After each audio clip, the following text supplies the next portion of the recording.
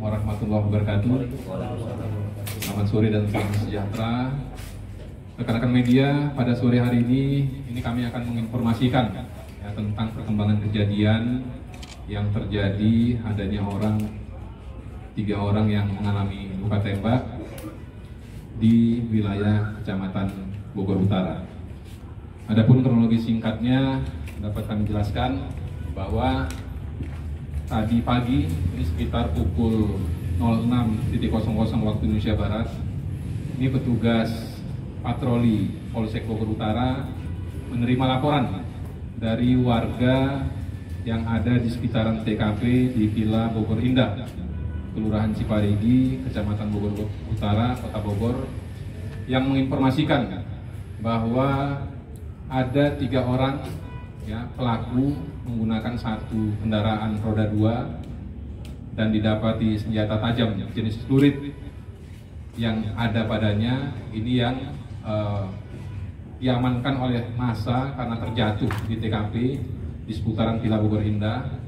Kemudian dasar laporan tersebut petugas kami mendatangi lokasi kejadian dan melaksanakan pemeriksaan olah TKP serta membawa ketiga pelaku yang akan melakukan tindak kejahatan ini ke rumah sakit untuk dilaksanakan perawatan.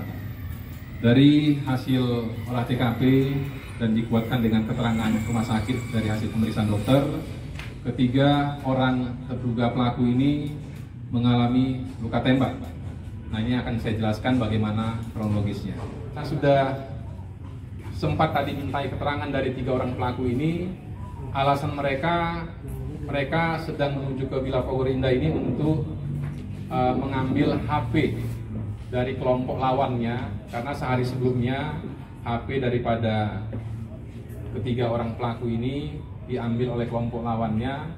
Kemudian mereka uh, sudah janjian untuk ketemu di Villa Bogor Indah itu sementara keterangan dari para pelaku tetapi kita akan kembangkan uh, kebenaran daripada keterangan tersebut.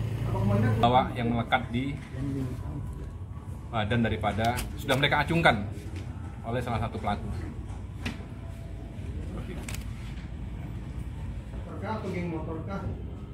Uh, kalau kita lihat statusnya dari tiga orang ini, satu orang sudah putus sekolah, dua orang masih sekolah di SMP ya di SMP.